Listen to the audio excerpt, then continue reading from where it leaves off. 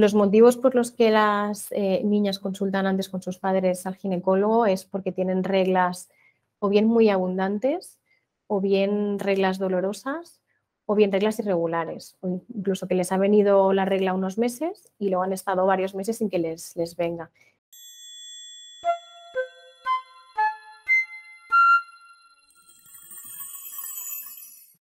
Normalmente la edad de la primera regla es alrededor de los 11-12 años. Sí que estamos viendo que cada vez parece que se va adelantando y esto sí que puede estar eh, relacionado con, la alimentación, em, pero lo que llamamos una menarquia prematura, es decir, una primera regla antes de lo normal sería antes de los 9 años.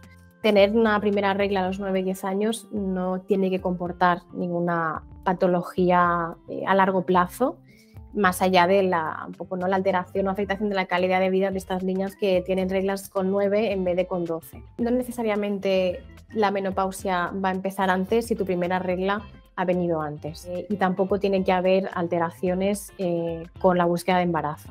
O sea, esto también está determinado, como digo, hay una parte genética y una parte también de la alimentación, de, los hábitos de vida, ¿no? de, de esto, pero no está relacionado con que la menopausia te llegue antes porque la primera regla ha venido antes. Esto va a tener mucho que ver con la genética también. Si normalmente cuando la primera regla viene antes, eh, el desarrollo de los caracteres sexuales ha venido antes también. O sea, el desarrollo de la, de pubarquia, em, lo que llama, la adrenarquia, ¿no? que es cuando se activan las glándulas suprarrenales y cuando empieza a desarrollarse la glándula mamaria, que esto se llama telarquia, todo esto suele empezar antes de la primera menstruación. De hecho, es el, primer signo físico que nosotros podemos ver de desarrollo sexual en, la, niña es eso, es la aparición, el desarrollo de las glándulas mamarias. Normalmente a partir de un par de años después de esto suele aparecer la primera regla.